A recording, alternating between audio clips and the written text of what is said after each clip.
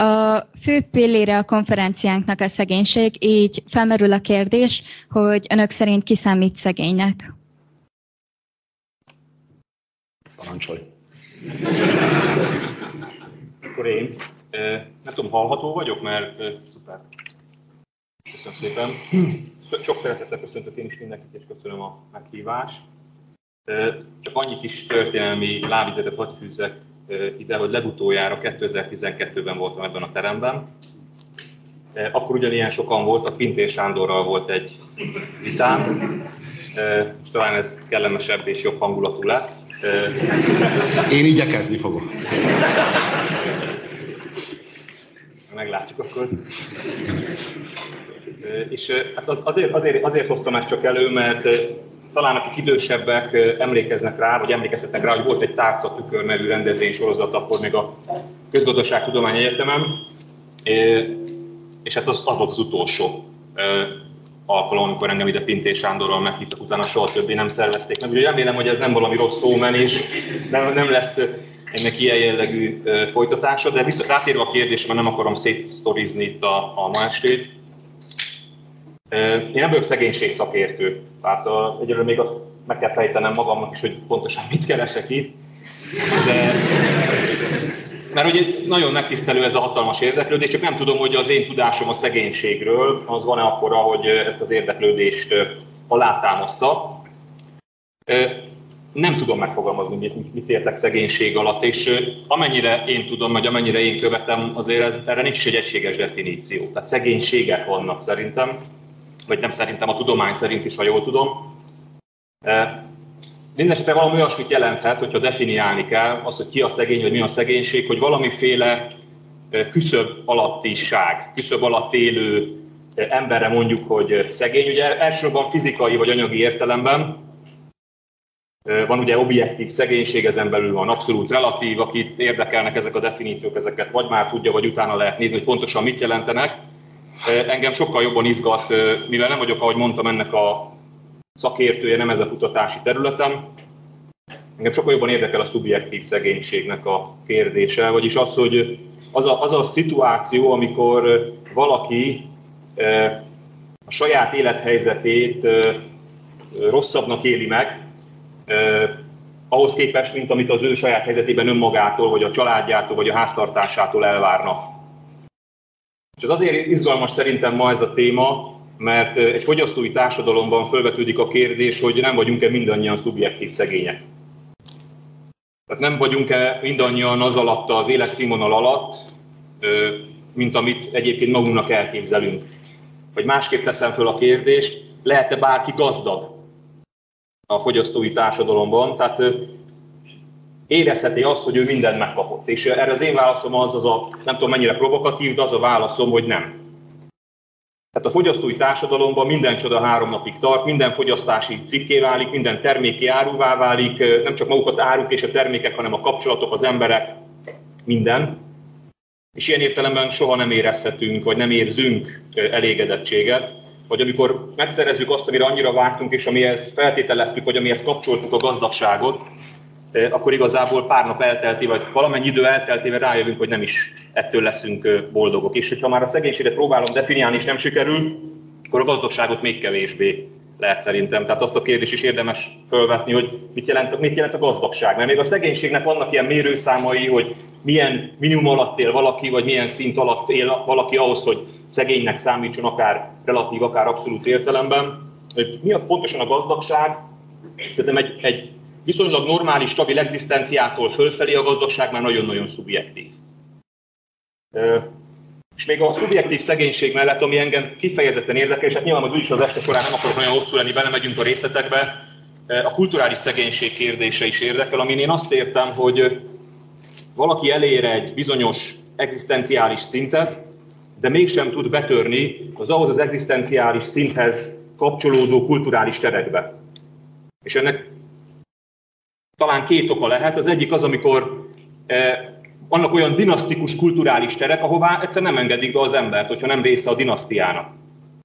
Hiába szerezte meg az elszükséges anyagi hátteret, feltételeket, nem annyira jó a pedigréje. Nincs, nincs meg az a születési eh, alaphelyzete, hogy őt abba az adott kulturális térbe vagy kulturális közegbe beengedjék. A másik része az új gazdag, aki meg nem is akar ide betérni. Tehát, hogy ő, ő megszerezte azt a fajta anyagi biztonságot, anyagi gazdagságot akár, ami, ami őt predestinálná, hogy kulturális értelemben is átvegye azokat a normákat, gesztusokat, amit a gazdagok szoktak, de ő mégis inkább szegény marad kulturálisan. Úgyhogy nekem ezek a kérdéseim voltak, hogy a fogyasztói társadalomban lehet-e, lehet-e bárki nem szegény szubjektív értelemben, illetve akkor még egy kérdés hagyj vessek, és akkor tényleg befejeztem, hogy szegénynek számít-e az a fiatal mondjuk Magyarországon, akinek van, aki tud valahol lakni, aki, akinek van pénze szórakozni, akinek van pénze az oktatását fedezni, aki még el is tud menni nyaralni, de soha az életbe reménye sincs arról, hogy saját lakása legyen. Tehát, hogy őt szegénynek nevezzük-e. Mert mondjuk nincs olyan családi háttere, nincsenek olyan családi körülmények, hogy a Magyarországon az ingatlan vásárláshoz szükséges milliókat, vagy tízmilliókat letegye az asztal. És erre az én válaszom az az, hogy igen. Tehát ez is egyfajta szegénység, lakhatási szegénység, vagy talán annál több is. Hogy nem, nem definiáltam semmit, de talán föltettem pár kérdést.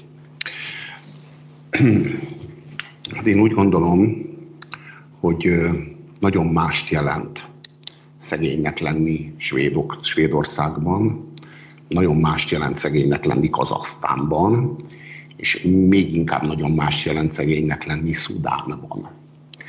Ez tök mást jelent. Meg lehet, hogy aki gazdag Szudánban, az Kazasztánban még mindig szegény, és aki gazdag Kazasztánban, az Svédországban még mindig szegény, és meg lehet, hogy aki szegény Szudánban, az Svédországban értelmezhetetlen. Értelmezhetetlen. Tehát a szegénység az nagyon relatív, és, és veszélyes is, amikor addig tágítjuk ezt a fogalmat, hogy szegénység, hogy már mindenki, vagy egyre többen érezzék magukat érintve a dologban, mert ezáltal hát fogékonyabbak lesznek erre, és hát a politika az ebben utazik legyen, érezze magát minél több ember szegénynek, főleg az ellenzéki politika, érezett magát minél több ember szegénynek, érezze azt, hogy őrá is vonatkozik az az ígéret. A legutóbb az ilyen nagy jóléti kísérlet, az a 2002-es jóléti rendszerváltás volt a Megyesi Péter előadásában. Ö, érezzék azt minél többen, hogy ők tulajdonképpen szegények. Csak ahogy tágítjuk ennek a fogalomnak a jelentését, hogy szegénység, úgy válunk egyre cinikusabbá.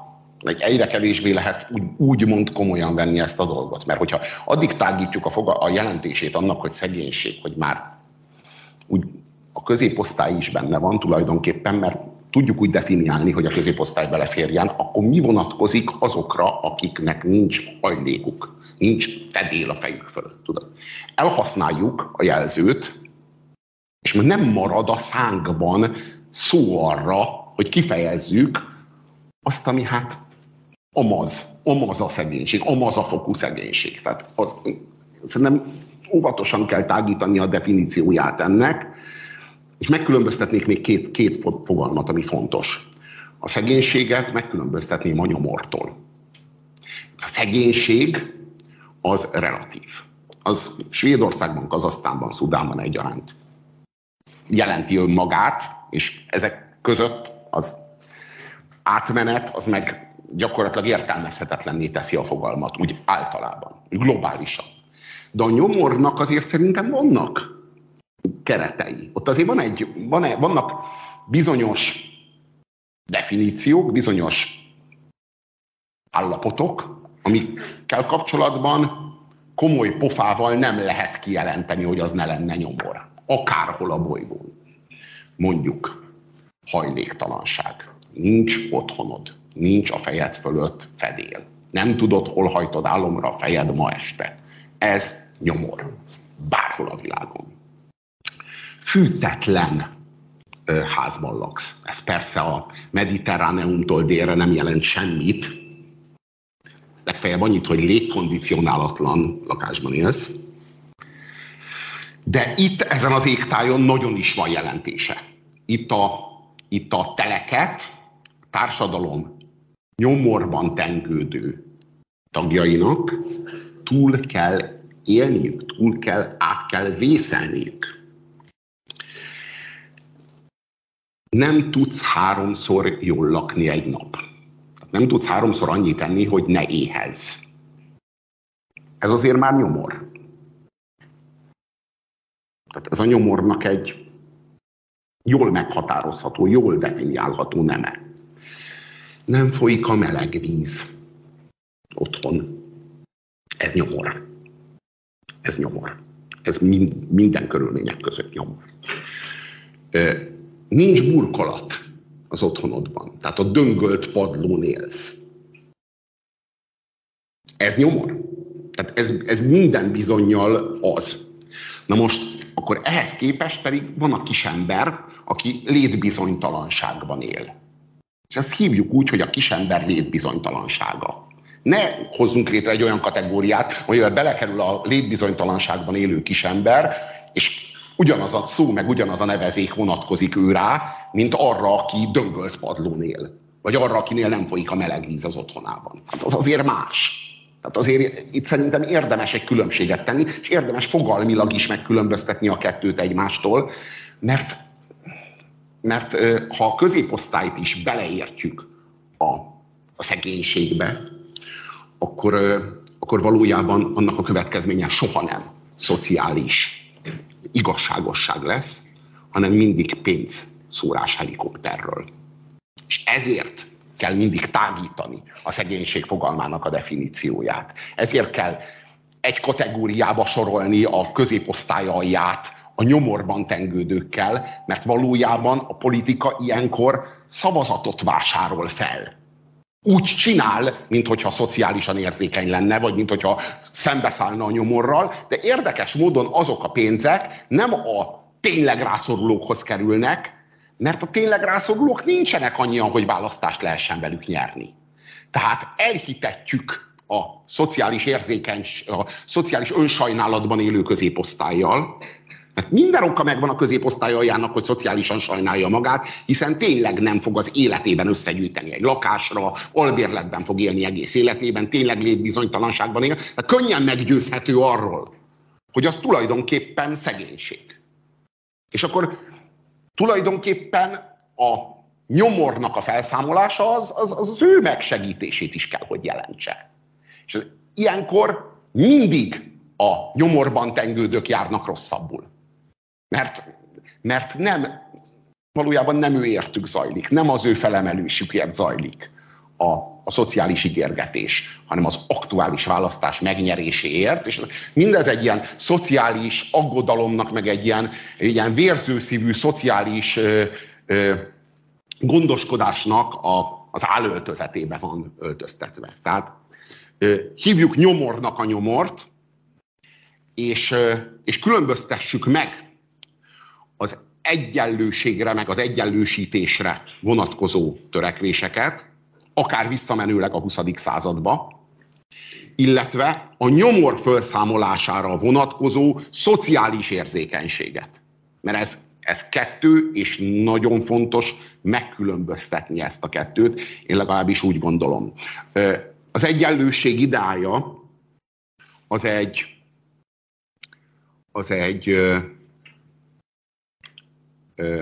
a, ugye a francia forradalom hármas jelszavának, a szabadság egyenlőség testvériségnek, a, a, miből aztán alakult a szabadságból a liberalizmus, a egyenlőségből a szocializmus és a testvériségből a nacionalizmus és a konzervativizmus. Hát ez tulajdonképpen a szocializmusnak, a szocializmus eszményének mondjam úgy, hogy a francia trikolorból ez a vörös szín.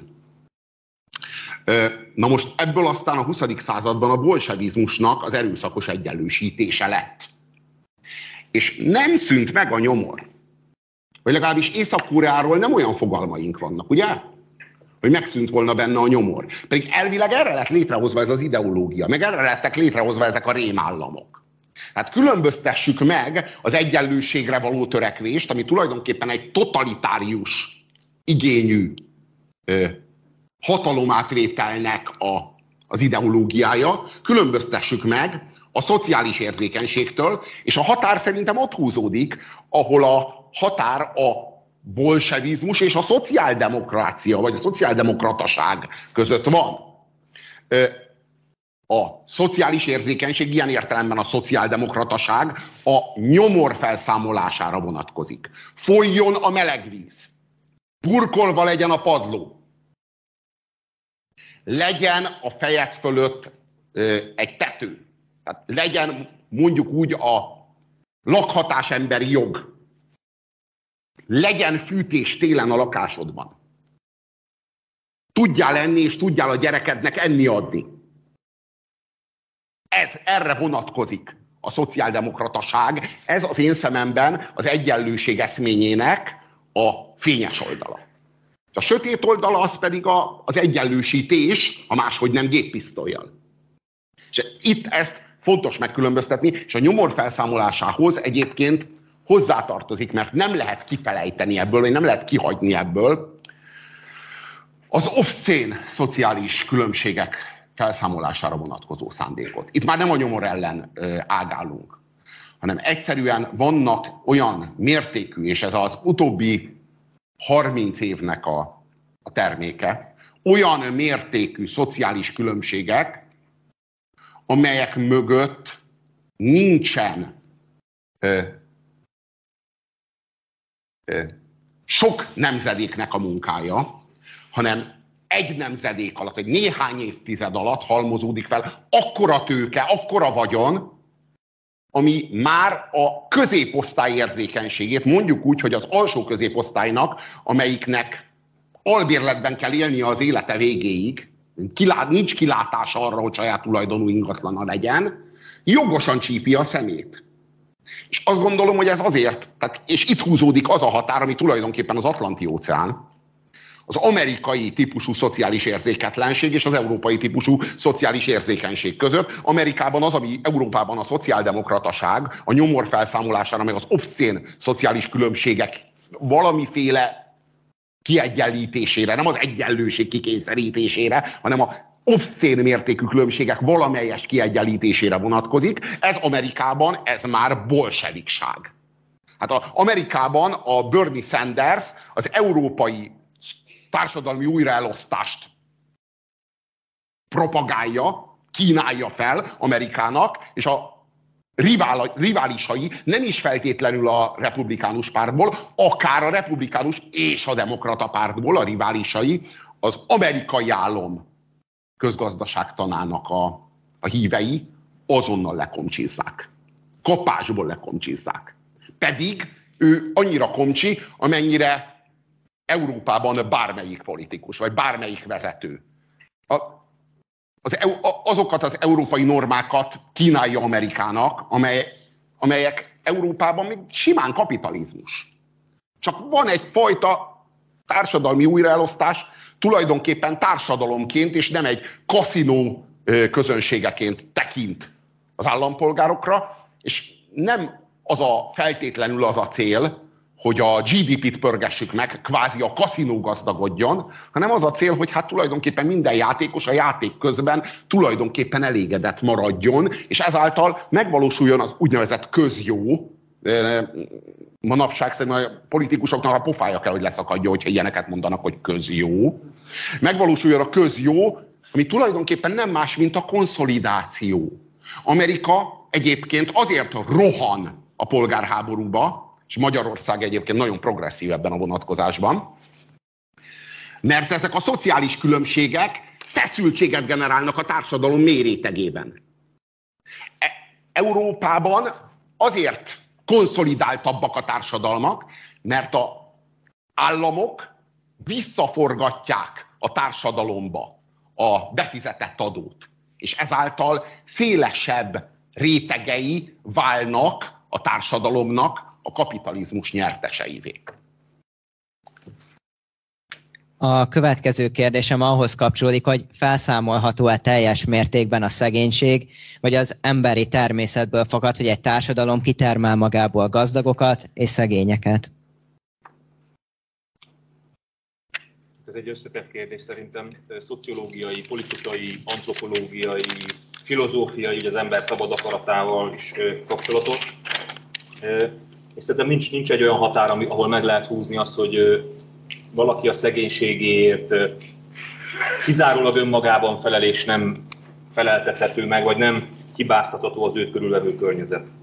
Volt a magyar közéletben azért egy olyan mondat, ami ide kívánkozik, amikor ugye elhangzott az egyik kormánypárti politikus szájából, hogy mindenki annyit ér, amennyie van, ha jól idézem. A klasszikus. És hát nyilván ez, ez, ez, ez mutatja, hogy, hogy van, azért egy olyan társadalmi percepció, és ez külön, különösen az uralkodó osztályra jellemző, vagy a domináns osztályra, vagy a felsőbb osztályokra, hogy a maguk egzisztenciális nyugalmából, kényelméből úgy érzékelik a szegénységnek a létezését, mint valamiféle életvezetési hiba. Ami azért következett be, mert az illető nem tanult elég szorgalmasan, nem járt be iskolába, ha bejárt, akkor nem figyelt, utána nem dolgozott szorgalmasan, és a többi, és a többi. Tehát egy lényegében egy, egy saját felelősségre való utalás. De nyilván ez, ez, ez, egy, ez egy nagyon leegyszerűsített kép. Én nem mondom, hogy ebben nem lehet, tehát ennek nincs igazság magva, tehát nem hiszek abban a ö, ö, néha ilyen neomarxista átitatottsága rendelkező gondolatban, hogy minden szegény az egyben jó is. Tehát, hogy van, van egy ilyen romantizálása a szegényeknek, hogy aki szegény, az egyben egy jó ember. Tehát ebben a mocskos világban, aki jó ember, az csak szegény lehet, ugye? És a másik pedig a gazdag, az nyilván csak bűnös lehet, és csak valami átkozott gonosztevő. És itt csak zárójelbe jegyzem meg, ha már itt a neomarxistákat szóba hoztam, hogy, hogy van, a, van, a, van a marxizmusnak szerintem egy ilyen állandó várakozása, és ha már szegényekről beszélünk, a szegénységgel kapcsolatban, amit a marxizmus is mindig másképp értékel kortól függően, hogy most éppen ki számít szegénynek, vagy mi számít szegénynek, és mindig az a várakozása van, hogy hát majd ezek a szegények egyszer ráébrednek a helyzetükre, belátják, hogy őket kizsákmányolják, és abban a pillanatban, amikor ez megtörténik, akkor, akkor megtörténik egyúttal a felkelés is. Tehát a szegények egy nagy apokaliptikus felkelést fognak csinálni. És ugye a marxizmus mindig erre vár, csak az a baj, hogy a szegények úgy tűnik, hogy ahhoz nem elég szegények, ahhoz elég túlságosan gazdagok, hogy, hogy fölkeljenek, vagy legalábbis a nyugat-európai kapitalizmus, a szociáldemokrata kihívása kénytelen volt valamiféle emberarcúságot belevinni a piacgazdaságba. De hogy ez a fajta attitűd a szegénység felé, ez nyugaton is, meg keleten is megvan. Nálunk, hogy van-e különbség esetleg Magyarországon abban, hogy, hogy valaki mennyiben felelős egyénileg a szegénységért, és mennyiben nem, és mennyiben a körülmények. Azt gondolom, hogy itt Magyarországon az utóbbi sokkal erősebb, és erre talán vannak különféle mutatók is, amik ezt alátámasztják akár az esélyegyenlőség kérdésében, akár annak a kérdésében, hogy valaki hová születik és milyen iskoláztatásban van része, milyen iskolába kerül, az mennyiben határozza meg az ő későbbi karrierjét, élet előmenetelét. És nem tudok most pont konkrét számokat, meg adatokat, de azt tudom, hogy talán Európában az első egy-néhányba tartozunk. Ha nem vagyunk a dobogón, akkor, akkor szerintem nem akkor nagyon tévednék. Tehát úgy talán dobogó közeli helyen, vagy dobogón vagyunk abban, hogyha valaki hátrányos helyzetű régióba születik, akkor onnan nem fog tudni kitörni. Tehát nincs meg az a mobilitási lehetőség, és hogyha ezek az adatok túlságosan nagy számban állnak rendelkezésre, már pedig ezek az adatok rendelkezésre állnak, akkor nyilván fölmerül az a kérdés, hogy ott, ott mindenki, eh, tehát hogy ott valami van a vízben, vagy a levegőben, ami miatt mindenki eh, kerüli az iskolát, vagy eh, nem szeret tanulni. Tehát van valamilyen lustaság hormon került a vízbe a csatornán keresztül, de nyilván ez, ez, ez nem igaz, ott, ott valószínűleg a rendszerben van a hiba. Tehát valamiféle ö, szociálpatológia lépett fel. És ö, csak nyilván erről majd szerintem fogunk beszélni, talán lesz ez, ezzel kapcsolatban kérdés, hogy mi a magyarországi ö, helyzet, de most ugye a kérdés az volt, hogy ki mennyiben felelős és tud-e változtatni erre. Én azt, azt, azt gondolom, hogy bizonyos határokig mindenki felelős a saját sorsáért, tehát ebben az értelemben én is elfogadom azt, hogy mindenki felelős azért, hogy a saját mozgásterén, amit a születési körülményei, az anyagi helyzete, az iskolázottsága, a régió, ahová született, és ezek a külső körülmények meghatároznak számára, az belakja-e, vagy bejárja-e, vagy feszegeti-e e, ezeket a határokat. De azért az szerintem közhely, meg, meg evidencia, hogyha valakinek van egy 10 kg-os hátizsákja, abból soha nem lesz 100 méteres síkfutásban olimpiai bajnok. Vagy, vagy, vagy valami olyan embertelen erőfeszítéseket kell tennie, ami, ami tehát le, lehet, hogy még az is lehet, hogy olimpiai bajnok lesz a 10 kg-os hátizsákkal együtt. De akkor az egy, az egy nagyon egyéni, tehát az egy annyira egyéni szituáció, ami, ami egy ilyen nagy csoda, egy, egy, egy egyéni történet. Lehet, hogy Messi, nem tudom, egy két kilós bokalánccal is ugyanilyen jó focista lett volna, de ő egy zseni. Társadalmilag viszont nehéz elképzelni azt, hogy egy régió, ahol, vagy egy terület, vagy egy család, ahol mindenki 10 kg-os hátizsákkal születik, ott mindenki bejárja ezt az utat. És hogy ne húzzák le azok a körülmények, azok a sorozatos csalódások, amik ezzel a élethelyzettel járnak. George Orwell a, a 1984 című klasszikusában úgy írja le a forradalmakat, mint a három, alapvetően három osztályból álló társadalom mozgását, amelyben az uralkodó osztály a, a csúcson áll, a középosztály ugye középen, és a szegények, proletárok pedig legalul.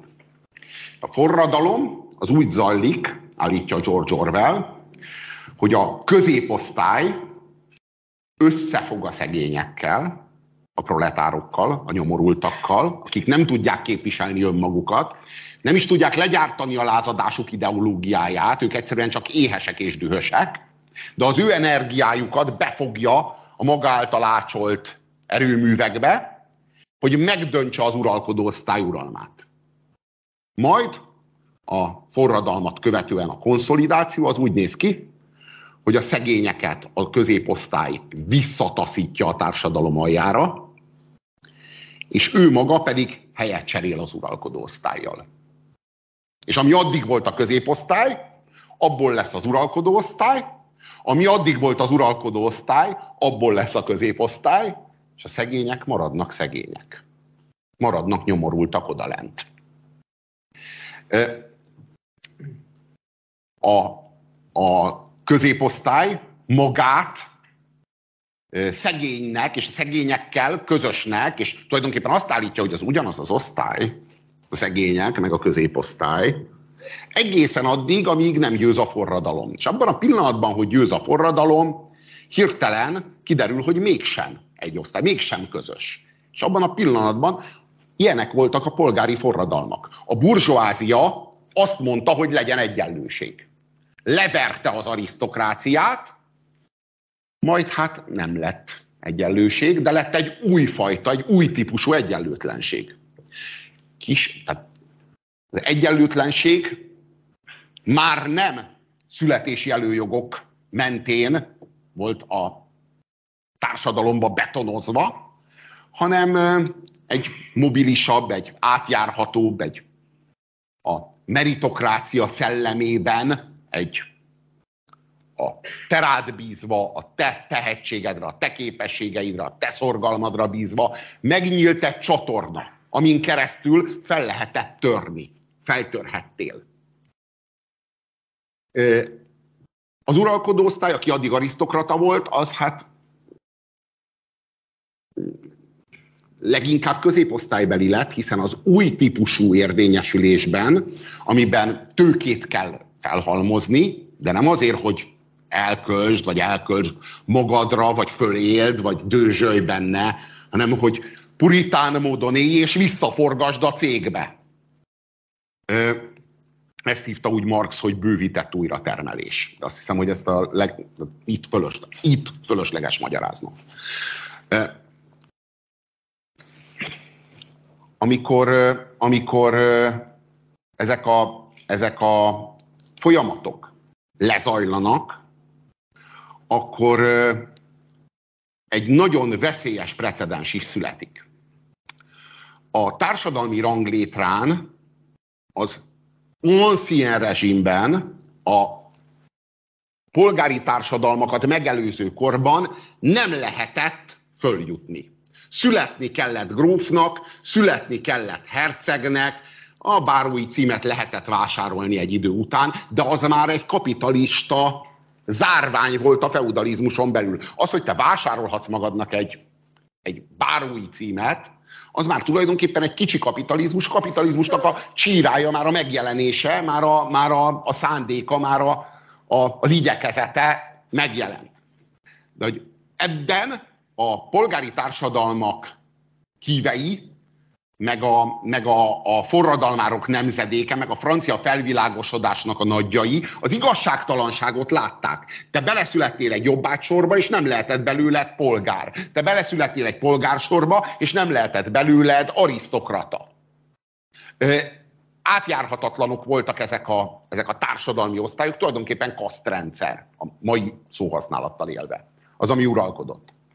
De ezáltal ö, mindenki a neki kiszabott sorsot kellett, hogy leélje. Ebbe az igazságtalanságot látták és fölszámolták.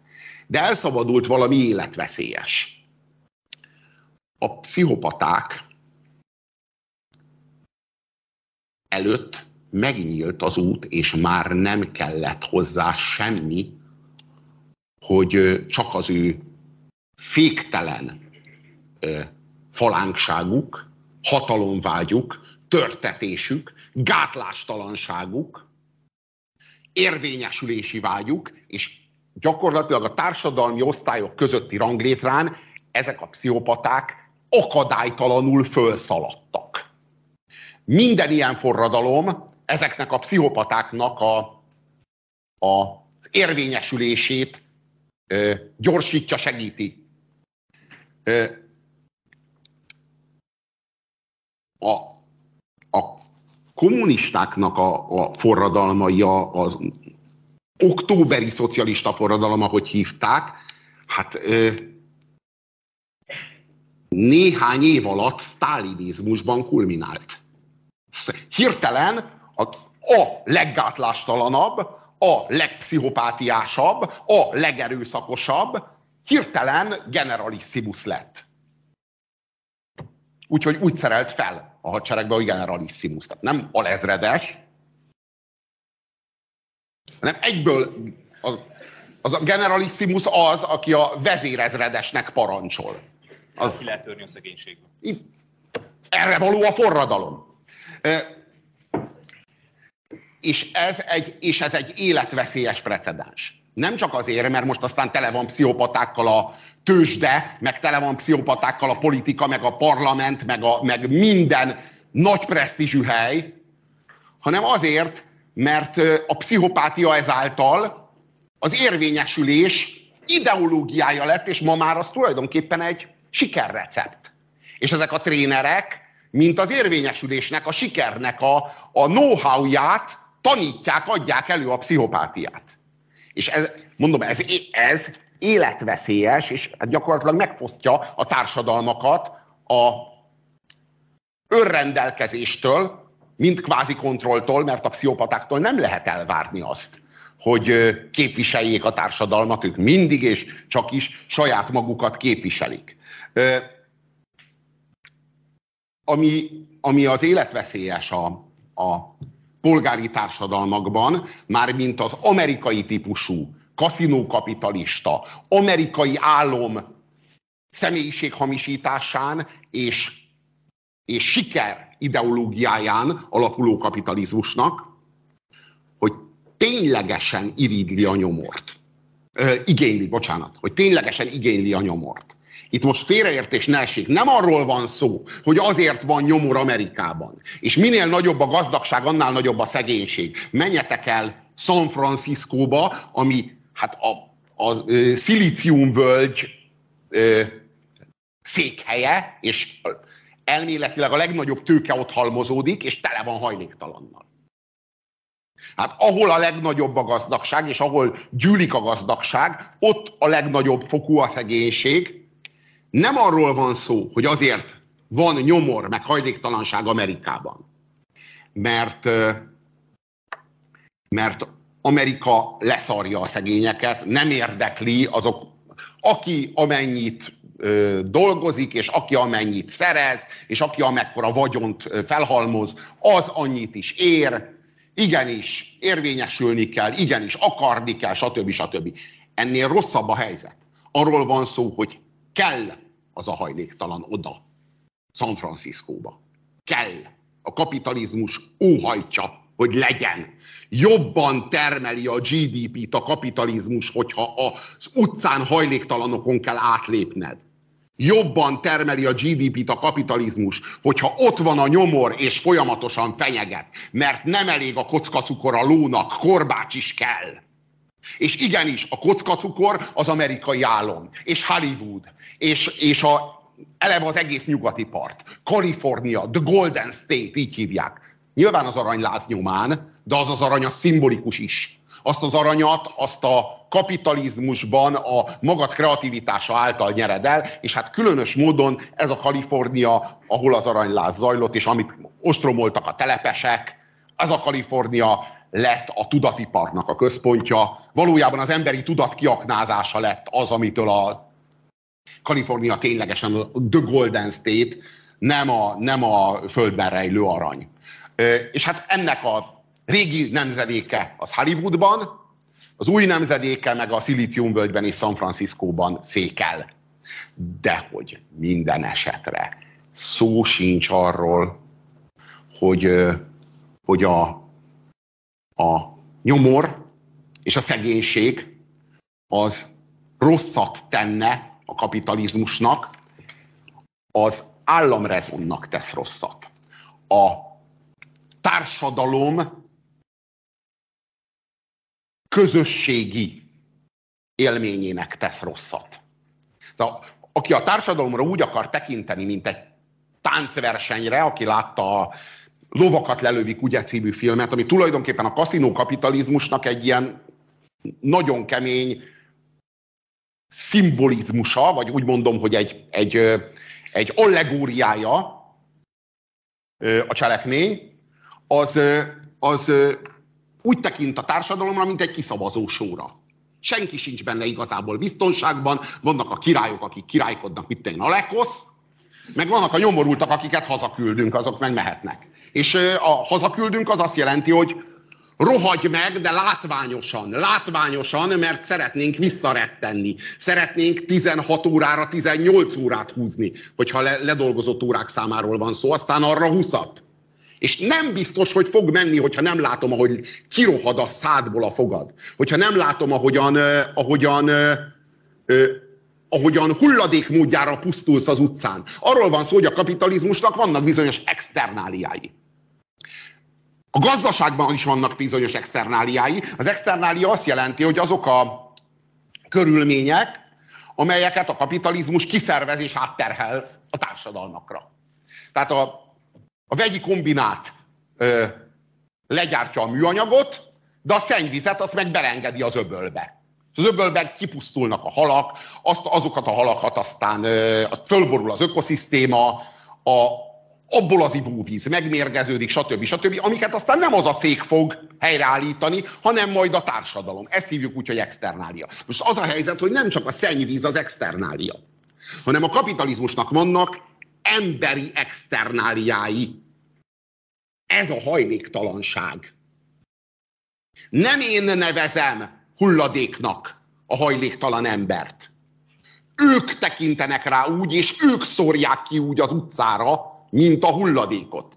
És ők ténylegesen a kapitalizmus emberi hulladékai.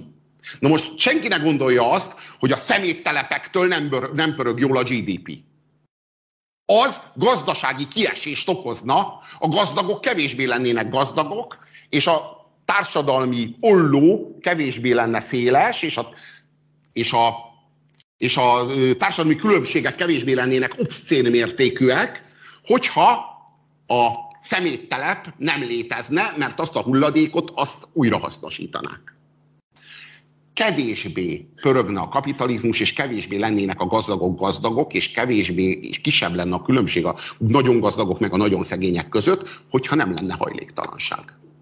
Ez a nagyon gazdagoknak nem érdekük. És nem is lesz az. A rossz hír pedig az, hogy a forradalom ebből a szegényeknek, a tényleg szegényeknek, a nyomorban élőknek semmi jót nem fog hozni. Csak addig kellenek, ameddig az ő felhajtó erejük a középosztályt a csúcsokra repíti.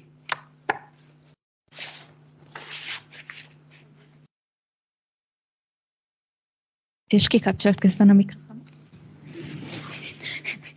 Szó, szóval a viselkedés gazdaság, a viselkedés gazdaság szerint a szegények már születésükkor kezdve hátrányból indulnak a gazdagokhoz képest. Pár példát említve, ilyen az oktatás, a fizikai és a szellemi környezet, megfelelő tápláltság és kapcsolati tőke hiánya. Mit gondolnak, az államnak feladata ezen esélyek kiegyenlítése, és ezt Magyarországon miképpen lehetne megtenni? Mielőtt megpróbálnék válaszolni a kérdésre, reagálok itt a Robinak az előző, az amerikai kapitalizmust leíró gondolataira. Kicsit árnyalnám, vagy legalábbis én nem, nem látom ennyire, tehát a dramaturgiát én nem, nem látom mennyire. Tehát ugye úgy fogalmaztál, Robi, hogy a, a nyomor az szüksége a kapitalizmusnak, és hogy lényegében ez a korbács, és a, a nyomor az, a, az, a, az, amit kicsit úgy megmutat a kapitalizmus, mint egy, mint egy lehetséges pokolt, ahová kerülhetsz, hogyha nem, nem, igyekez, nem igyekszel annyira, amennyire kellene. És azt mutat, hogy nem arról van szó, hogy az amerikaiak leszarják a, a szegényeket, hanem egyszerűen erre szüksége van a rendszerre. Én nem tudom, hogy ez jobb-e vagy rosszabb, amit én gondolok, szerintem leszarják.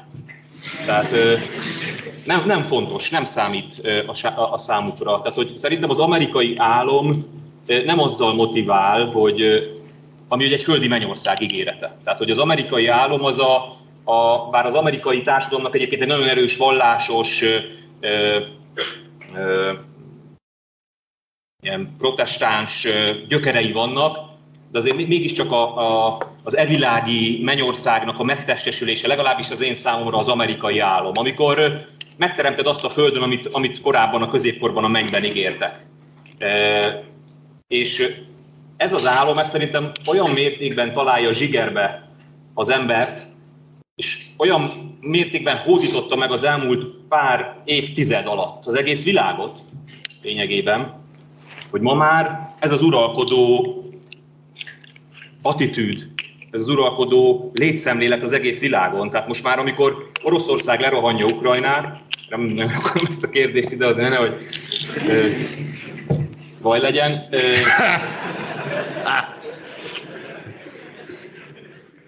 most csönd én beszélek.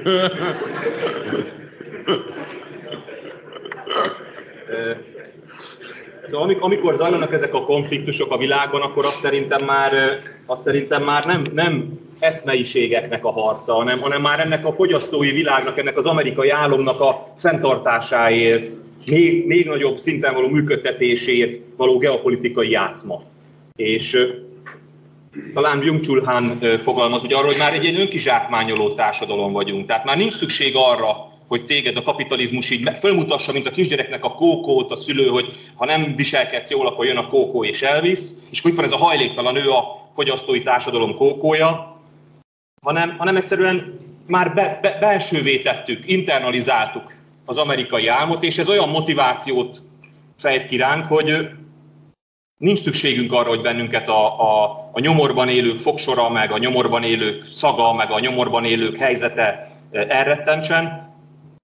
Őket ilyen externáliaként észleljük persze, de átlépünk fölöttük, nem leszarjuk. Tehát, hogy igazából szerintem, én nem tudom, hogy ez mekkora különbség így, a, a, meg mennyivel jobb, azt tényleg nem tudom, nem biztos, hogy ennyit itt szerettem volna magam kis árnyalataként hozzátenni.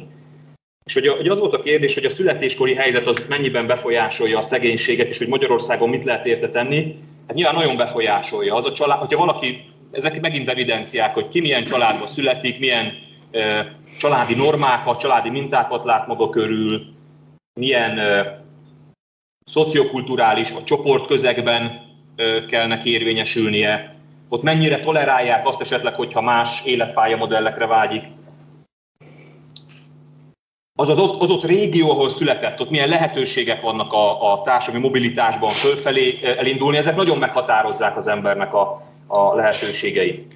Sőt, tovább megyek, már születés előtt eldől sok esetben, sok gyermeknek sajnos a sorsa. Tehát már a prenatális időszakban eldőlhet valakinek a sorsa.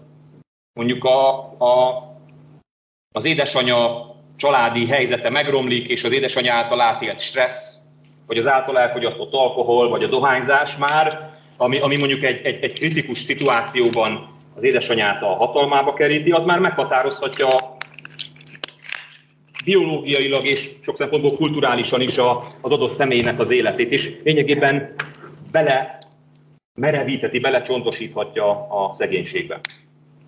És hogyha valaki beleszületik egy ilyen világba, akkor szerencsére nem ilyen világba születtem. Tehát, hogy én egy középosztályi családból jövök. Nem tudom, tehát amik, amikről most én itt beszélek, azok, azok az én szempontomból egy ilyen elképzelt világnak a modellezései. Hál' Isten nem kellett átélnem ezeket.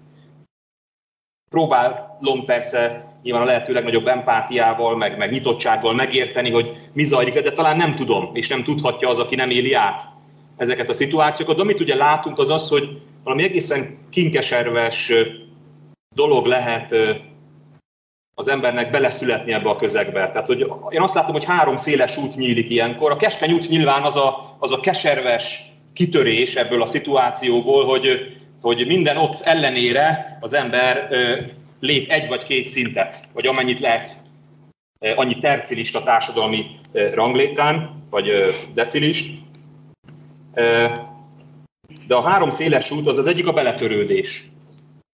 Lényegében elfogadom azt, hogy ebbe a helyzetbe születtem, ezen változtatni csak olyan erőfeszítések árán tudok, amin, amit, amire nem vagyok képes, és belenyugszom, leélem az életemet, megismétlem a, az elődeimnek az életét. Tehát nyilván ez, ez, nem, ez, ez hajlamosít az, hajlamosítja az embert depresszióra, hogyha egy ilyet kell átélnie. A másik széles út az a kriminalizálódás. Tehát azt mondom, hogy, hogy az a világ, amelyben én beleszülettem, az, az nekem nem ad lehetőséget. A, a, azok a keretek, amelyek számomra föl vannak állítva, nem adnak lehetőséget a kitörésre, ezért ezeket a kereteket széttöröm. És azokat a társadalmi normákat vagy szabályokat áthágom, és ezeknek a megtételével jutok előre. És hát a harmadik az pedig az önpusztítás, a drog, az alkohol, amikor meg azt mondom, hogy nem is törődök bele, nem is próbálok ebből kitörni a kriminalizáció útján, hanem egyszerűen elpusztítom magam. És én, azt látom, hogy Magyarországon ez a három út egymástól függetlenül és egymással összefüggve is sajnos létezik. És hogy hogyan tud ez az állam ezzel az egésszel mit kezdeni, tehát azzal a szituációval, amikor tömegesen születnek bele és termelik újra a szegénységet emberek, azok, azok kapcsolatban három dolgot írtam föl magamnak. Az egyik az a depolitizálás. Itt a Robi hosszasan beszélt arról, hogy a politika milyen képmutatóan viszonyul sokszor a szegénységhez, és hogy sokszor érzékelem azt, hogy miközben a szegénység felszámolása politikailag hasznos lenne, hát kevesebb szociális transfert kell utalnom. Ha ugye felszámolom a szegénységet, akkor valószínűleg ezek az emberek dolgozni fognak, több adóbevételhez jutok, dinamikusabb gazdaság lesz, nagyobb belső fogyasztás, tehát szinte felsorolhatatlan előnyel jár a politika számára a szegénység felszámolása, akár szavazatokat is hozhat, de mi van akkor, hogyha a szegénység fenntartása a politika számára ilyen erőfeszítések nélkül hozza a szavazatot. Tehát a szegénység felszámolása nagyobb politikai erőfeszítést igényel, mint a szegénység fenntartása, és kisebb haszonnal jár. És, és szerintem ez, ez egy súlyos probléma, hogy, és egy súlyos kérdés, hogy lehet-e érdeke, és ez költői persze ez a kérdés, lehet-e érdeke egy kormánynak és egy államnak, vagy egy, vagy egy politikai elitnek a szegénység fenntartása, Nyilván az a válaszom, hogy igen. Ebből kifolyólag az első dolog, hogy depolitizálni kéne szerintem nagyon a, a szegénységgel kapcsolatos ö, vitákat, már amennyire persze lehet. Itt, itt van egy konkrét példám, Hajdúdorogon van talán az, hogy csináltak a, az önkormányzat, egy ilyen teljes, egy nagy koalíció jött létre a Hajdúdorogi önkormányzat, ebből láttam egy ilyen kis riportot, hogy az összes helyi párt összefogott és elkezdtek felvásárolni ingatlanokat, sok esetben ezek, ezekből elköltöztek, talán valami kis bevétele is volt iparűzési adóból az önkormányzatnak, és minden párt közösen részt vett egy lakhatási programnak a kimunkálásában, és viszonylag jó áron jutathoz, jutatnak lakáshoz szegényebb és, és normális lakáshoz szegényebb családokat, de ez azt kell, hogy depolitizálódott, vagy, vagy politika fölöttivé vált az adott kérdés. Ha nem válik azzá, akkor mindig lesz, aki rálicitál. Mindig lesz, aki, aki ezt fölhasználja az éppen regnáló helyi vagy országos politikai vezetés ellen, és, olyan elvárásokat fogalmaz meg, amit, amit lehet, hogy nem is lehet teljesíteni. Másik dolog, az attitűdváltozás. Nyilván mindannyian nagyon szociálisan érzékenyek vagyunk. Amikor beszélünk arról, hogy mi mennyire szociálisan érzékenyek vagyunk. De kérdése az, és ezt meg, megint egy költői hogy tényleg ennyire szociálisan érzékenyek vagyunk-e, és ebben már én nem vagyok biztos, hogy, ez, hogy valóban ez a, ez a szociális érzékenység, ez, ez része a magyar társadalomnak. Van bennünk olyan szolidaritás, olyan ö, koordinációs igény, olyan, most lehet, hogy itt nagyon távol megyek, olyan nemzettudat, amelyik, amelyik azt mondja, hogy az ebben az országban élő embereknek ö, mindenkinek a, a legjavát kell ö, akarni. Szerintem, hogyha megnézzük a, egyébként erre készültem egy pár adattal is, akkor azt hagyd mondjam már el, a, a relatív szegénységi küszöb az az elmúlt évben, vagy a 2021 és 22 között, ezt, talán nem, ebben nem vagyok biztos, 12,6%-ról 12,2%-ra csökkent. Tehát, hogy elnézést, hogy mosolyog, mert nem nevetséges egyáltalán, csak hogy igazából ebből ugye az volt, hogy csökkent a relatív szegénység, hát ez egy olyan ellenyésző csökkenés, hogy ezt igazából ki sem lehet mutatni. De, és amiért idehoztam ezt, van egy olyan mérőszám, ami az uniós relatív szegénységi küszöbhöz méri az adott országok saját nemzeti szegénységi küszöbét. Tehát, hogy az, ami az adott országban szegénységi küszöb alattinak számít, az mennyire számít a szegénységi küszöb alattinak az Európai Unióban, illetve, hogy azok, akik esetleg a szegénységi küszöb alatt vannak, azok az Európai Unióban is fölötte vannak az szegénységi küszöbnek. És akkor itt jön egy megdöbbentő szám, és ugye Robi mondta, hogy nem szabad a szegénységet kiszélesíteni, mert az rossz ö, dolgokhoz vezet, de az uniós relatív szegénységi küszöb alatt él a magyar társadalom 70, 78 százaléka. Tehát azért ez brutális, ami azt jelenti, hogy a magyar társadalom több mint háromnegyede az uniós relatív szegénységi küszöb alatt él. Egyébként ö, európai szinten a szerbek és a románok vannak még nálunk rosszan, az Európai Unión be, rosszabb állapotban, az Európai Unión belül nyilván kizárólag a románok. És én felírtam, megnéztem azt, hogy a többi helyen mi a, tehát hogy a többi sorstárs kelet-közép-európai vagy kelet-európai országban mi a helyzet. Bulgária egy picivel jobb, de még ebbe a csomagba tartozik, tehát a román, szerb, bolgár, magyar négy. Ez, ez, az, ez ami nem a V4 van már itt, hanem ez a B4, ez a Balkán 4.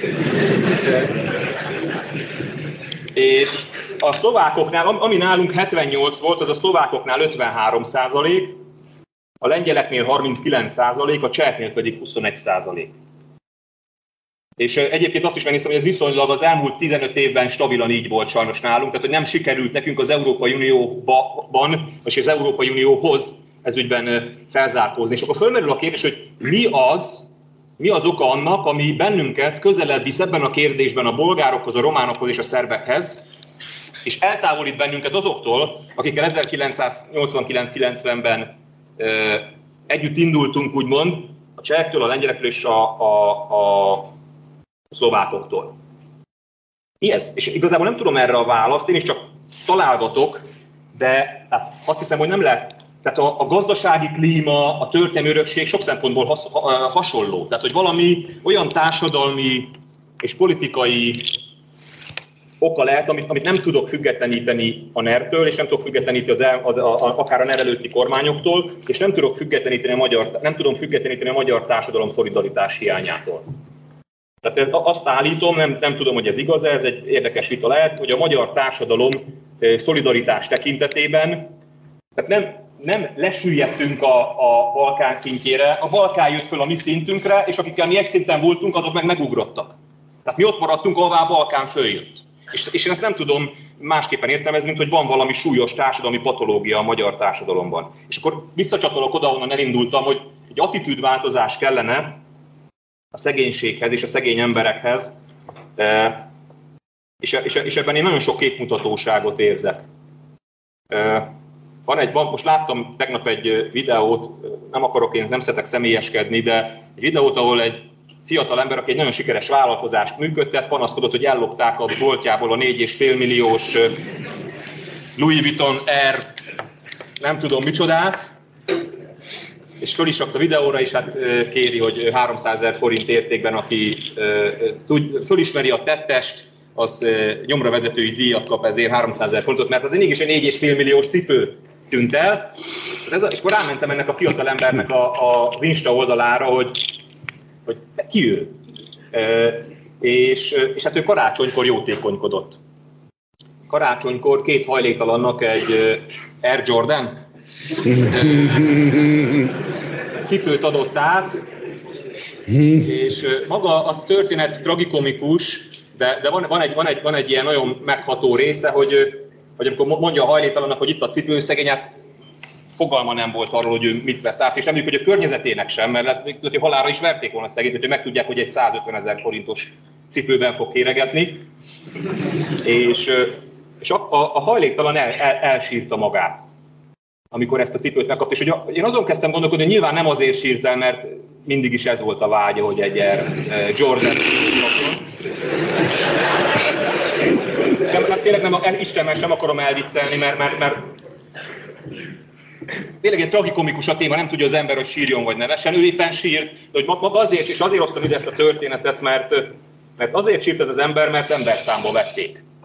Tehát valószínűleg ott egy, egy, egy kevésbé luxusmárkát képviselő cipő is elég lett volna, egyszerűen az emberi gesztus maga elég volt. És a harmadik dolog a depolitizálás, meg az attitűdváltozás helyett, az pedig a célok és a modellek nek a, az életpálya modell, ezt utálom ezt a szót, mert nagyon elhasznált a politika, de hogy annak a tudata egy társadalomban, hogy, hogy meg tudom csinálni, és most ne, ne, ne erre az amerikai ilyen bullshitre gondoljatok, vagy gondoljanak, amit így sugároz felénk sokszor a, a reklám, meg a média, hanem arra, hogy, hogy egy olyan társadalmi közeg, ahol tudom azt, hogy én erőfeszítést teszek, akkor annak meg lesz az eredménye. Akkor az, az, az, az, az hasznosulni fog. És az én tapasztalatom nem az, és nem csak az én személyes tapasztalatom, úgy általában nem az, a, nem az a magyar ember tapasztalata, azt hiszem, hogy a befektetett erőfeszítések azok, azok megtérülnek. És ez szerintem nem csak a szegényekre, hanem úgy általában a magyar társadalomra igaz, de a szegényekre meg különösen. Hát itt ezzel azt, azt értem, hogy megéri-e a szegénység ellen nekem erőfeszítéseket tennem. És ugye ez, ez a magán része, de az államnak itt jön be a, a felelőssége, hogy az állam tud-e teremteni olyan utakat, és olyan ö, modelleket, és olyan, ö, olyan lehetőségeket, ahol én azt, azt fogom hinni, és azt fogom érezni, hogy igen, ezt az erőfeszítést érdemes megtennem. Olyan példákat látok magam körül, és vannak ilyen példák, csak én azt tapasztalatom, azt, azt tapasztalom ezeknél a példáknál, amit a médiában így megmutatunk, és akkor így elérzékenyülünk, hogy a, nem tudom, a Robika, aki kilenc testvére volt, és aztán a, már a nyolc testvére börtönbe ment, a Robika megcsinálta, és kitört, és lediplomázott, és most Amerikában hívják egyetemi előadásokra. Tehát vannak ilyen történetek, csak ezeket azt értem, hogy azt érzem, hogy ezeket így önmagunk lelkének balzsamozására használjuk. És, és nem, nem, nincs, nincs mögöttük egy igazi élet. Ezek, ezek olyan kivételek, amik, amik, amik ellene mennek a valódi tendenciáknak. Tehát én nagyon elkeserítőnek tartom a magyar helyzetet ez ügyben, és az áró mondatom az, hogy ez mindaddig így is lesz, amíg a politikának megéri a szegénységet fenntartani. Hát addig jó, amíg az új V4-et, mi most ugye említetted, hogy a B4, a Balkán 4, még így hívjuk, és nem úgy, hogy Kisantant. Nem? Azt mondják, hogy a történelem nem ismétli önmagát, kivéve ott, ahol megállt az idő. Ott egy végtelen loopban van a társadalom, és újra meg újra minden nemzedéknek kijár tök ugyanaz. Ami meg a Louis Vuitton cipőt illeti, nem kell irigykedni a sikeres emberekre. Drága az a cipő, mi nem ennyit költünk cipőre, Gábor, nem vagyunk annyira sikeresek, mert nem szeretünk annyira dolgozni. A kapitalizmus az már pedig ilyen, hogy aki törekszik, az érvényesül és sikeressé válik. Kell tudni érvényesülni a kapitalizmusban, kell tudni gázt szerelni, kell tudni szomszédban lakni. Ez egy kapitalizmus. Tehát nem akármilyen szomszédban, hanem a megfelelő szomszédban. Ez sem mindegy. Ez egy kapitalizmus. Hercegnővel összejönni. Vagy gázszerelő. Hm? Ami a, ami a társadalmat illeti, hogy szolidaritás hiányos a társadalom, fogalmazott a Gábor az imént. Mm. Van ilyen, hogy magyar társadalom? Tényleg van? Ez egy szolidaritás hiányos társadalom? Nem arról van szó, hogy most éppen amikor azt mondjuk, hogy a társadalom szolidaritás hiányos, éppen hízelgünk neki? Azzal, hogy ő társadalom? Biztos az? Nem arról van szó, hogy ez egy sokaság. Komcsik úgy hívták, hogy lakosság. Az elég pontos volt. Lakosság, hisz laknak. A társadalom, hát a társadalomban benne van az a, az a, az a az az előtag, kvázi, hogy társ. Társ. Egy kiszavazó sóban. Társ. Hát a, az első adódó alkalommal gáncsolom el, amint a, csak nem néz hátra. Hát ez egy társadalom. A, a, a, a, e, itt is arról van szó, hogy a szolidaritás hiánynak szerintem van egy alsó küszöbe. És a, a beesik az alá, már nem társadalom. Az egy tömeg. Ez egy fogyasztók tömege. Nem magyarok, de nem is Sándorok, vagy Kovácsok, vagy Békás megyeriek. Mert az, a Békás megyeri az a, az a lokálpatrióta. Nem Békás megyeriek. Mivel azonosak? A fogyasztói kosarukkal azonosak a saját fogyasztásukkal, a saját fogyasztói preferenciáikkal azonosak. Egymással. Amennyiben esetileg egybeesik. Vagy a Louis Vuitton mentén, vagy a Fidesz mentén az ő fogyasztói kosaruk, akkor hát társutasok egymással egy ügyben. Mondjuk a Louis Vuitton cipő ügyében. Mondjuk. Az is kérdés, hogy, mert úgy vetette fel az imént a Gábor, hogy az államnak tulajdonképpen hasznos lenne a köz, közjó, megint egy olyan kifejezést használtam, hogy, hogy borzasztó, hogy a közjó, hogy a, a társadalmi igazságosság, az tulajdonképpen jó lenne, az tulajdonképpen hasz, közhasznot hajtana. De mi van akkor, hogyha az állam nem azonosítja magát a közzel. Hát ha nem pusztán arról van szó, amit a Gábor mondott, hogy szegénységben tartani egy társadalmat jobban megéri, mint fölemelni egy társadalmat, főleg, hogyha az egy tömeg, amelyiknek a emlékezete az a Garnéla ráké, hát nagyjából arra fog emlékezni, hogy fölkeltem reggel. Most tegyünk jót egy ilyennel? Hát nem fog emlékezni az arcomra, hogy felidézze, hogy én tettem a jót.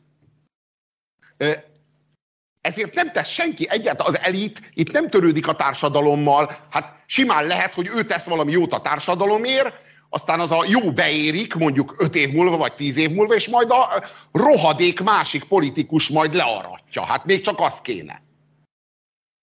Hát arról van szó, hogy az állam nem azonos az állam nem azonos az állammal sem, csak vagy úgymond nem azonos a közzel, még magával az állammal sem. Tehát Orbán Viktor nem azonos olyan értelemben a magyar állammal, hogy annak az érdeke lenne, hogy a magyar állam az jól, vagy közelégedettségre jogosítóan működjön.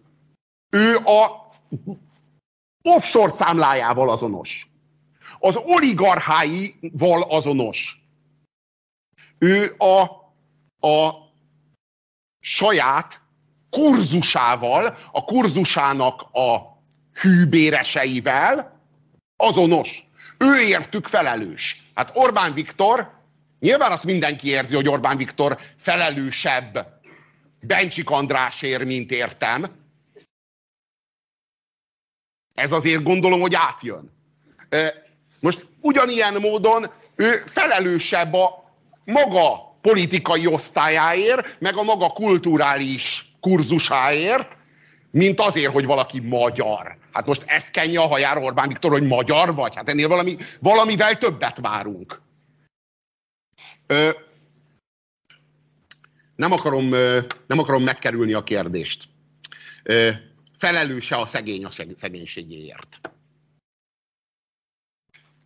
Hát ö, igen, tulajdonképpen felelős. Mondjuk, hogy 10%-ig. Mondjuk 10%-ig felelős. Hát a 10% az azt jelenti, hogy ha ő minden emberileg elképzelhető erőt összegyűjt magában és kifejt annak érdekében, hogy föltörjön, akkor tíz esetből egyszer föltör. Tehát van rá példa. Tehát tudjuk, hogy van rá példa. Tehát van olyan, aki nagyon rossz körülmények közé születik, nyomorba születik, nagyon akarja a dolgot, jók a képességei hozzá, szerencséje van, és föltör. Szokták, azzal is szokták ideologizálni a, a versenyt, meg a, a Lázár Jánosi értelemben vett amerikai kapitalizmust, hogy Bill Gates is liftes fiú volt az IBM-nél, aztán belőle lett Bill Gates. És nem volt lusta megnyomni a gombot a liftben, hanem melózott keményen, majd Bill Gates lett. De vajon, és itt általában megáll az érvelés, tehát nem folytatják, pedig logikusan következik a kérdés. Hány Bill Gates, hány liftes fiúból lesz Bill Gates? És itt már rosszul, rosszul teljesít az amerikai típusú kapitalizmus. Egy, nagyjából 90% az, amiben a társadalomra szorul, vagy úgy, mondja, úgy mondom, hogy az államra szorul, vagy a, a szociális intézményekre szorul a szegény ember. 90 százalék. Na most itt azért fontos, hogy,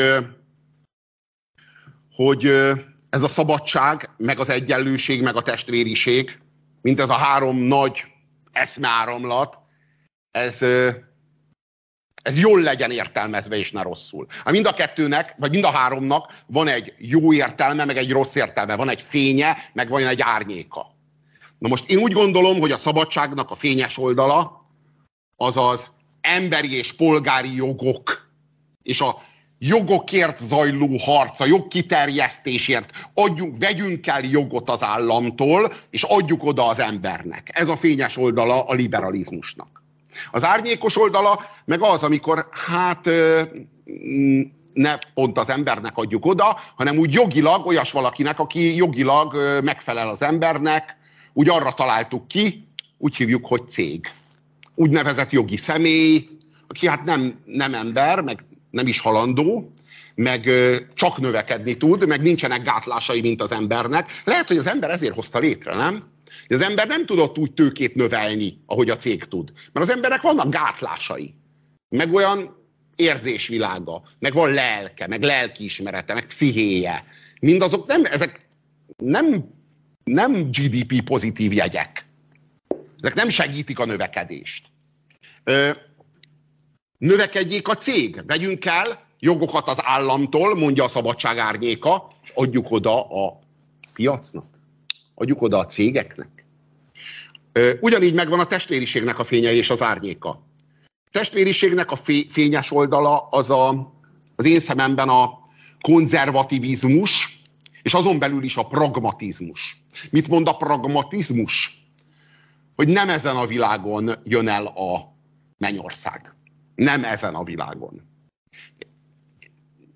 Nem akarunk megváltástanokat hajszolni, mert mindegyik megváltástan messzes gödörben végződik. Tehát a pragmatizmus az azt mondja, hogy hegesszük a világot, de ne dobjuk ki és ne gyártsunk újat. Mert az mindig egy koncentrációs táborra fog hasonlítani, vagy egy gulágra fog hasonlítani. Ö, és mi az árnyékos oldala, vagy az árnyéka a testvériségnek? Nyilván a, a sovinizmus, a szélsőséges nacionalizmus, amelyik egyfajta sajátosságra, Hanvas Béla úgy mondja, hogy egyfajta deformitásra, azt mondja, hogy az a, az a deformitás az a normalitás, és minden másfajta deformitás az abnormalitás. Ez tökönkényes. Hát, ö, ö, aminek szüle, általában aminek születik az ideológus, az lesz a normalitás, figyeljed meg. Ö, és akkor eljutottunk az egyenlőséghez. Az egyenlőségnek is van fényes és árnyékos oldala. És az egyenlőségnek a, a fényes oldala az a nyomor felszámolására vonatkozik. Tehát abban a 90%-ban, amiben az emberi akarat nem képes kitörni a szegénységből, abban a 90%-ban ki kell emelni, ki kell segíteni, igen, ki kell segíteni a nyomorból, a szegénységből a, az egyént. Ezt jelenti például a lakhatáshoz való jog. Ez egy baloldali, szerintem nagyon progresszív a jó értelemben, tehát nem úgy, mint a transz WC, hanem nagyon progresszív, valóban nagyon progresszív szellemű igény és politikai szándék.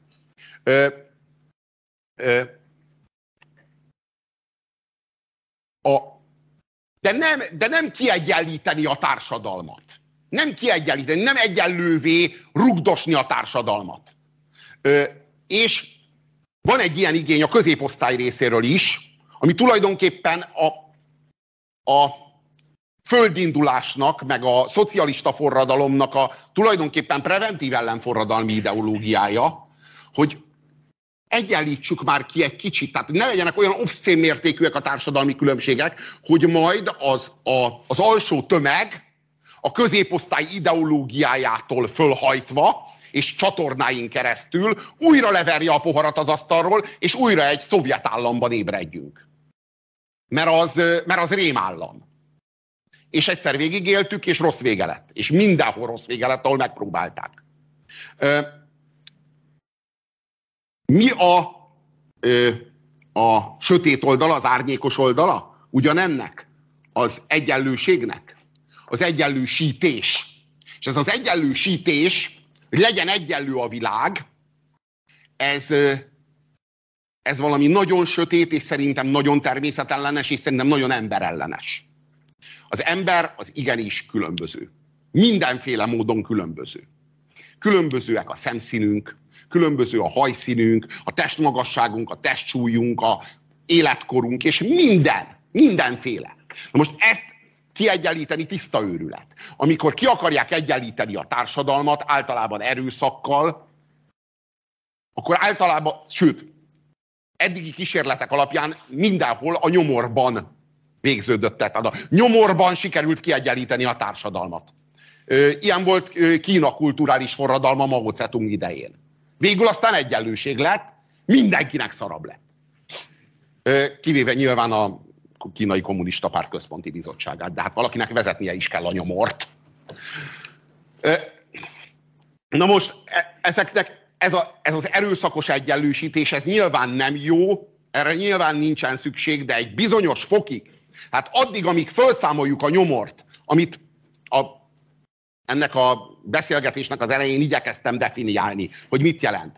Addig úgy gondolom, hogy kötelessége a, a társadalomnak. És onnantól kezdve, hogy ez megvalósult, mint mondjuk Skandináviában legtöbb helyen, de most már az Európa szerte nagyjából normálvá kezd válni. E, ezt is jelenti egyébként a szegénység fogalmának ez a kiszélesítése. Európában ez így értelmes is. Csak amikor a, amikor a félperifériás régióra alkalmazzuk, akkor kezdje el elveszíteni a jelentését. Tehát amikor ezt a, ezt a, ezt a nyomort, ennek a nyomornak a felszámolására törekszünk, mint mondjuk Skandináviában, és mindössze ezt elvégzik a szociális intézmények, meg az állam által biztosított társadalmi újraelosztás az adórendszeren keresztül, akkor már rá lehet bízni a kapitalizmusra a, a társadalmat, de mindeközben ott kell, hogy legyen a háttérben a gondoskodó állam, amelyik folyamatosan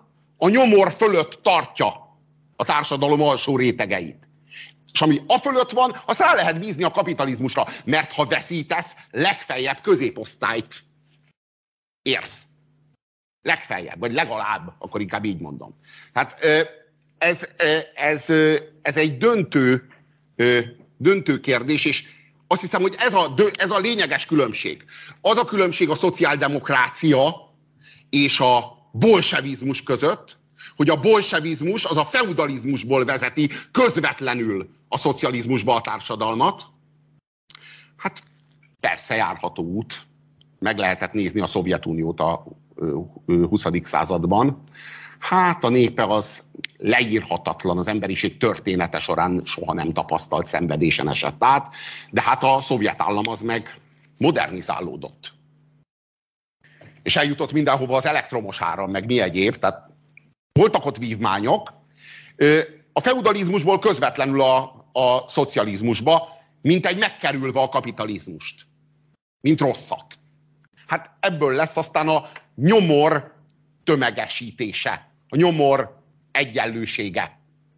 És van a szociáldemokrácia, amelyik nem akarja megkerülni a kapitalizmust, hanem a kapitalizmusból lép a szocializmusba, mint Skandinávia. A, az alapja egy jól működő kapitalizmus, és arra épül föl egy szociális gondoskodás, és a államnak a társadalom alsó rétegeiről való gondoskodás, és kvázi a nyomor fölött tartása. De hogy ez a döntő különbség, hogy a kapitalizmusnak van egy, egy társadalmi vonatkozása, a kapitalizmus egy gazdasági fogalom. De tartozik hozzá egyfajta társadalom, és azért a társadalomért igenis kár. Igenis kár volt Kínában, igenis kár volt a Szovjetunióban, igenis kár volt Magyarországon, meg itt a keleti blokkban. Ezt úgy hívjuk, hogy polgári társadalom. És az a kapitalizmushoz tartozik. A kapitalizmus persze igazságtalan, de a polgári társadalom az igenis pont azért, mert az egyénhez jogok tartoznak, és az ő méltóságát védelmezi a jog, meg az ő emberi körülményeinek a minimumát. Véde, igenis védelmezi a szabadságát, védelmezi a jog, ezért aztán azok a társadalmak, amelyek a feudalizmusból közvetlenül a ö, szocializmusba lépnek, nem tapasztalják meg a polgári társadalmat, nem valósul meg a polgári társadalom, és az egyén élete annyit ér, amennyi a mozgási energiája annak az ágyúnak, amibe beletöltik. Ezzel szemben, ahol a kapitalizmusra épül rá a szocializmus, mint a skandináv országokban történik, ott a polgári társadalom az alap. És arra épül rá a szociális igazságosság igénye és annak intézményei. Én azt gondolom, hogy ez a követendő út, és, ahol, és látjuk, hogy működik hogy nem sokára le fog járni a beszélgetésre szánt idő, ezért megkérnélek, Sebi, hogy olvas fel a közönség kérdéseket. Rendben. Az első kérdés az az, hogy hogyan depolitizálható a szegénység témaköre, illetve depolitizálható-e egyáltalán, és szükség van-e erre? Hát, hogy szükség van-e rá, az szerintem egyértelmű ha politikai vitákat folytatunk a szegénységről, akkor ugyanúgy járjunk, mint minden olyan kérdéssel, amit politikai vita tárgyává teszünk. Ja, bocsánat, akkor na. Szóval az, az, hogy szükséges-e depolitizálni, az szerintem egyértelmű, mindenképpen szükséges. Ha bármiről politikai vitát folytatunk, én, én híve vagyok a politikai vitáknak, a politikai veszekedéseknek kevésbé, de a politikai viták ettől függetlenül mindig magukban hordozzák a, a, annak a veszélyt, hogy leegyszerűsítjük, eltorzítjuk, négy éves ciklusokhoz igazítjuk a, a, az adott témát, és hát a szegénység meg nem egy négy éves kérdés. Hogy hogyan lehet ezt meg, megoldani, hogyan lehet depolitizálni, e, ebben, ez, ez ügyben már, már, már nem vagyok olyan biztos, hogy hogyan. Tehát, hogy erre nem nagyon hiszem, hogy van e, válaszom. E, különösen akkor nincs, hogyha nincs egy olyan polgári társadalom, amelyik e, át tudna vállalni a, a pártoktól vitát. Tehát nálunk Magyarországon szerintem azért ural le mindent a pártpolitikai vita, mert nincs polgári társadalmunk, már itt a polgárságról Robi szót ejtett. Az elmúlt 200 évünk az végül is nem szól másról, mint hogy újra és újra, talán egyre kisebb lelkesedéssel, de, de nekivágunk a polgárosodásnak, és aztán mindig a történelem bizonyos körülményei, meg a saját tehetetlenségünk, meg a saját rossz döntéseink sárba tapossák ezt a, ezt a zászlót, a polgárosodásnak a zászlaját, és ugye ez azt jelenti, és ugye itt kicsit hagy kapcsolódjak a társadalom, a magyar társadalom egyáltalán kérdéskörhöz, mert nagyon fontos, hogy erre Robi rávilágított, valóban a részemről az egy ilyen eufemizmus volt, amikor társadalomról beszéltem. Én úgy definiálom, tehát szerintem az emberi közösségeknek a, a mély, szinte biológiai vagy genetikailag kódolt alapja az a törzsi gondolkodás. Ugye az emberi történelem során a, a homo sapiens a történelme leghosszabb részét törzsben élte. A törzs az azt jelenti, hogy van egy, van egy közös szimbólum rendszer, amit persze föl, amit fölturbózunk a közös származás gondolatával is az esetek többségében. Ez összeköt bennünket, és innentől kezdve ez a törzs adja a fizikai és sok szempontból kulturális biztonságunkat is. És én nagyon sokszor beszéltem arról az elmúlt években, hogy a magyar társadalom, ami nem társadalom, az inkább ilyen törzsi vitákká alakult, törzsi háborúvá vált.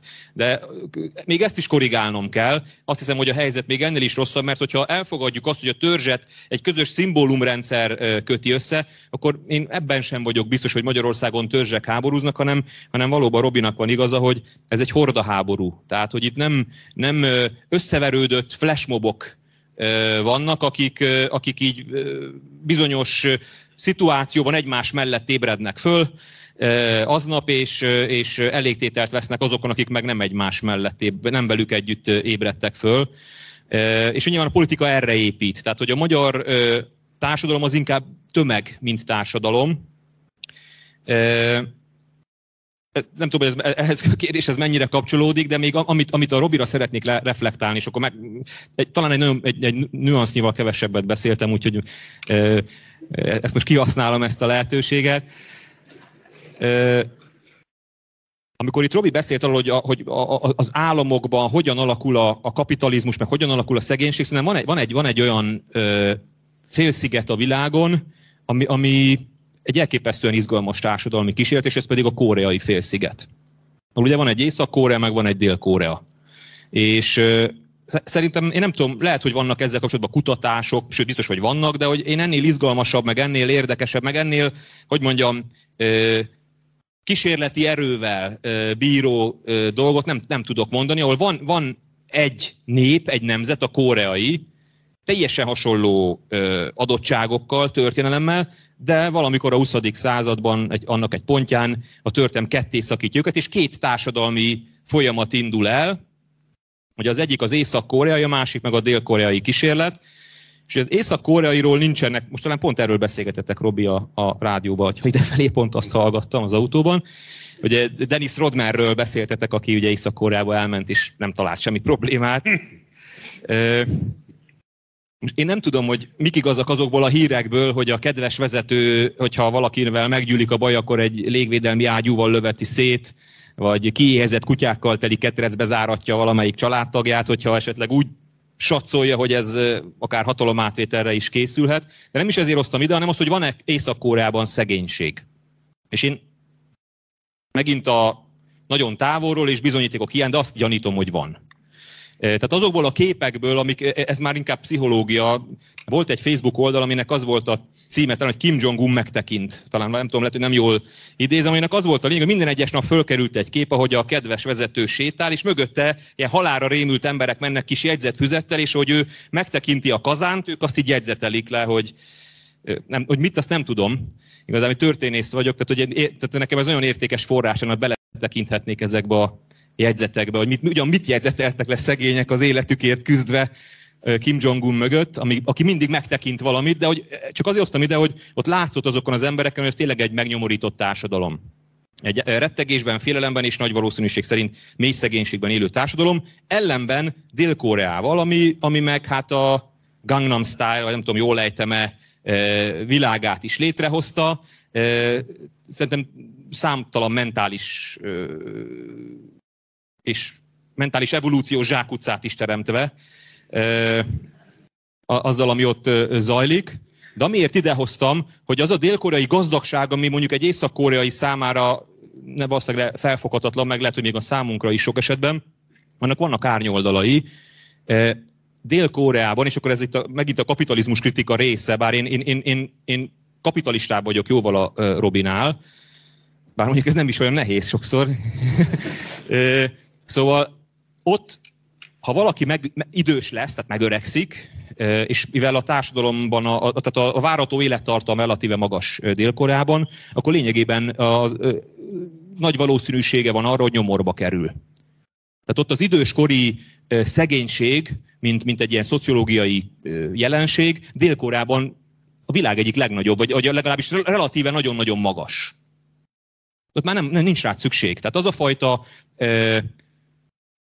gondoskodás, ami, ami szerintem az ázsiai társadalmakat tradicionálisan jellemezte az időseknek a gondozása, az idősekben rejlő bölcsességnek a kiaknázás és az ezzel kapcsolatos viszonyulás az idősekhez, az teljesen kihalt a dél-koreai társadalomból. Tehát, hogyha már nem vagy ennek a kapitalista Gangnam Style-nak a része, akkor, akkor utána hasz, egy, egy igazából egy felesleges biomasszává váltál, aki egy, egy ilyen fantomblogba fogja leélni az utolsó éveit. Nem tudsz lépést tartani azzal a dél-koreai kapitalizmussal, ami ott van, és hogy ez miért, miért érdekes, és hogy jön ide?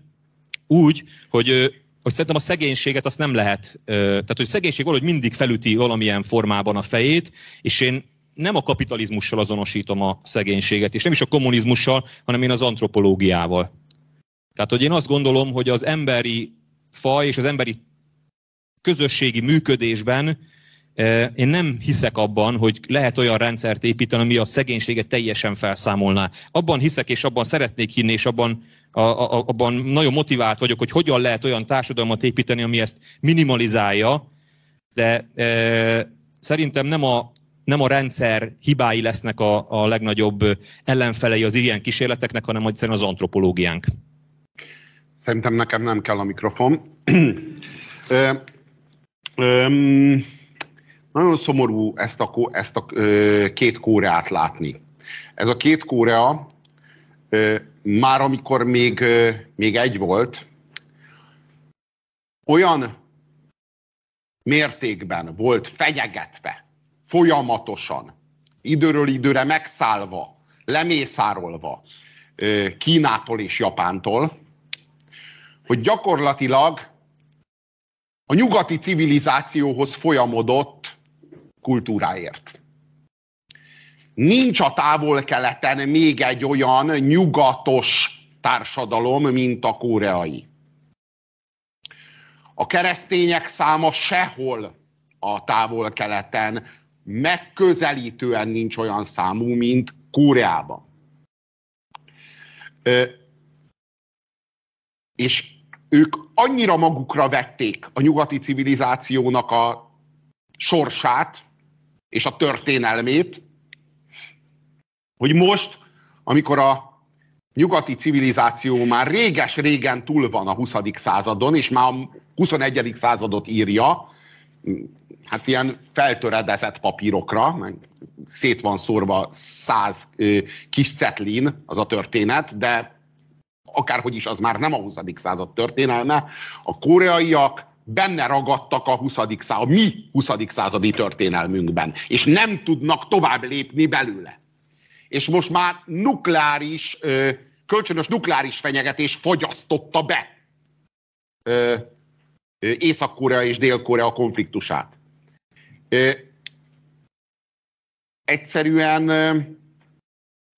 mint hogyha a berlini fal Koreában még állna. Még mindig állna. Itt beláthatatlan ideig. Nagy valószínűséggel az mi életünk végéig áll. Ez annyira szomorú. Ö, Bocsánat, hogy így közbeszólok, de letelt Depolitizálható-e a bármi? Na. Itt vagy tartottunk, jó, nem? Depolitizálható-e Magyarországon a szegénységről szóló diskurzus? Kérdezte a kollega úr. Hölgy, Úr, na, az úr tolmácsolta. E, e, jogos kérdés, de van bármi Magyarországon, ami depolitizálható? Depolitizálva van Magyarországon bármi, bármilyen diskurzus. Mert a depolitizáció az azt jelenteni, hogy hát keresünk konszenzusokat. Hát mi van depolitizálva? A konszenzusok tárgya van depolitizálva, ami nem politikai vita tárgya, amiben egyetértünk teljesen. Van itt ilyen? Bármi? Hát tudod, ha az van, hogy ma ö, Gyurcsány Ferenc kijelenti, hogy az embernek két füle van, már írja Orbán Viktor, meg már íratja a szolgáival, hogy miért van három vagy egy. Hát, hát nehogy már egyetértsünk Gyurcsányjal. És, és ez kölcsönös természetesen.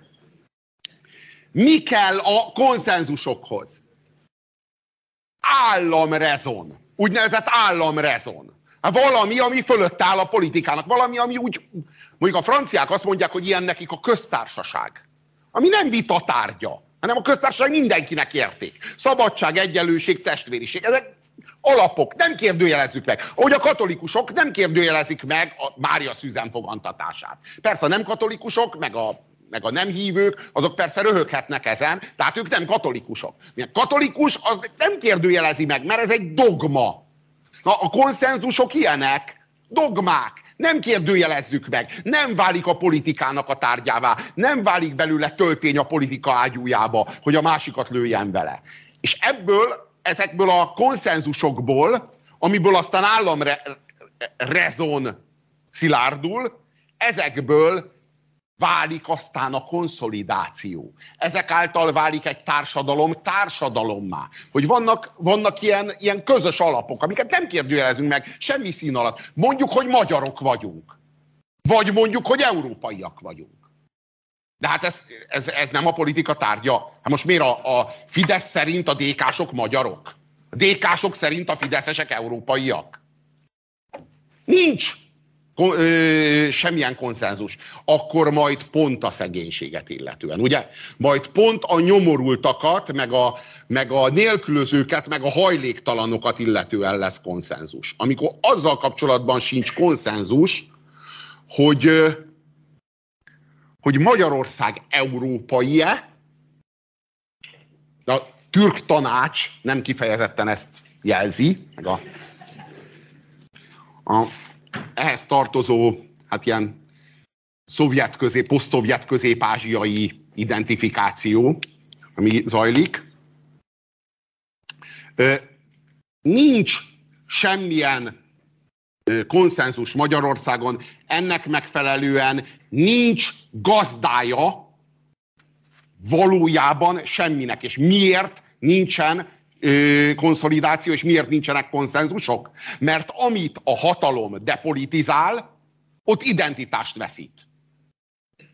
És az identitás konfliktusok, az identitás politika az, ami a 21. században a politikának a lapjárása. És nem fog identitást veszíteni Orbán Viktor Gyurcsány Ferenccel és Gyurcsány Ferenc Orbán Viktorral szemben. Nincs az a szegénység, nincs az a nyomor, vagy nincs a füleknek az a száma, ami erre alkalmas. Nincsenek konszenzusok, mert pont, mert a politikának az, az identitás, az, ami őt identifikálja, amiben ő konfliktust tud ö, feszíteni az ellenoldal politikusaival, vagy az ellenoldali kurzussal, az a politika üzemanyaga, az a politika számára aranytartalék. Nem fogja az aranytartalékot odaadni az embereknek, hogy terítsétek szét egymás között, és az az aranytartalék legyen mostantól kezdve a magyarságé. De az van, hogy egy olyan társadalom, egy olyan államban, ahol van társadalom, ott az, ami a, a közös, az mindenkié. Egy olyan országban, ahol meg nincs társadalom, mint Magyarországban, ott az, ami közös, az senki. De nem azért halmoztuk fel az identitást, hogy odaadjuk a parasztoknak, meg a proletároknak. Azért halmoztuk fel az identitást, hogy az minket meghatározzon és győzelemre segítsen négy évről négy évre. Ez az igazi probléma. És ez alól majd pont a szegénység lesz kivétel, na nem. Közben elnézésre Sajnos az egyetem bezár, és ezért kell befejeznünk. Egyébként én még bármennyi ideig nagyon szívesen, és, és szeretnénk újra megköszönni, hogy elfogadták a felkérésünket, mert hát láthatóan tömegeket sikerült bevonni. Köszönöm szépen. Köszönöm. Köszönöm szépen. És